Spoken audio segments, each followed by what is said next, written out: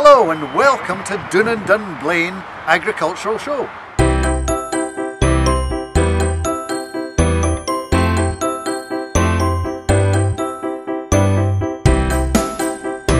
Oh, this is the 69th show and we've got some pretty good weather now. We've had some showers but today it's looking brilliant and we've got a terrific entry of sheep, cattle, goats, heavy horses, they're judging the Clydesdales at the moment lots of stands to explore and enjoy. So welcome to this video which will tell you a wee bit about the show and we hope that next year instead of just watching it you'll come along and see it for yourself and experience it all.